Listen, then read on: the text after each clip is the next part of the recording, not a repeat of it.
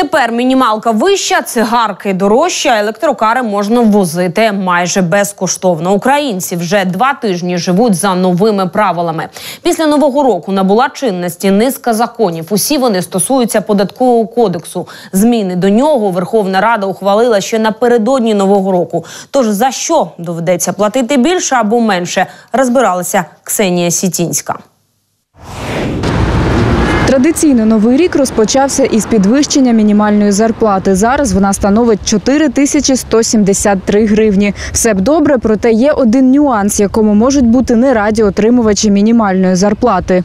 Люди, которым повысили минималку, сами обращаются теперь к работодателям. Не все, но есть такие случаи. И просят перевести их на полставки, четверть ставки, чтобы не лишиться субсидий. Когда растет э, доход семьи, их могут, э, у них могут отобрать субсидию. Економісти наголошують, підвищення мінімалки ніяк не впливає на рівень інших зарплат. А от товари та продукти однаково дорожчатимуть. Зокрема, як і зазвичай, з нового року збільшився акциз на тютюнові вироби. До вартості цигарок з 1 січня додали 20%, а у липні акциз зросте ще на 9%. Для курців це неприємно, а от для місцевих бюджетів вигідно, кажуть економісти.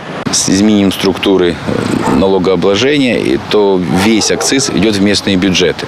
Поэтому чем больше акцизный сбор, тем будут богаче местные бюджеты. Села, поселки, города. Он выравнивает стоимость сигарет как в Украине, так и за рубежом. И тем самым делает не таким выгодным статью контрабанды, э, как сигареты. Потому что в Европе сигареты стоят много дороже, Замовляти посилки з-за кордону теж стане дорожче. Зараз діє перехідний період. Він триватиме до липня. Відповідно, поки що без оподаткування ви можете замовити за кордоном речей на 150 євро. За все, що дорожче, доведеться сплатити 10% мита та ПДВ. На одеській митниці нам пояснили, як розрахувати, скільки доведеться сплатити додатково. Тож дивіться.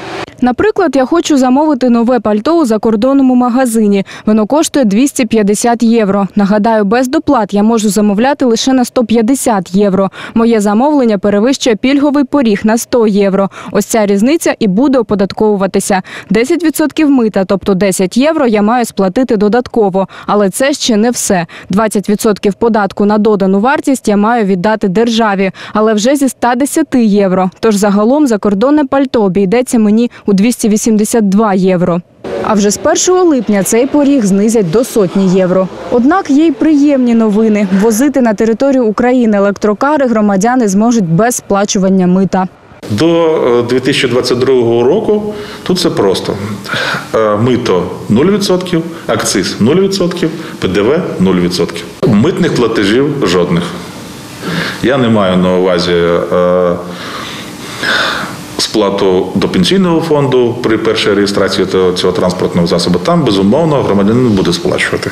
Але митних платежів жодних. І ще одна добра новина для екології: споруджувати сонячні та вітрові електростанції з нового року дешевше. Обладнання для них звільнили від ПДВ. До речі, в Одеській області хочуть побудувати аж чотири сонячні електростанції: дві в Ізмаїлі та ще стільки ж у Татарбунарському районі. Ксенія Сітінська, Олексій Філіпов. Підсумки тижня, сьомий канал.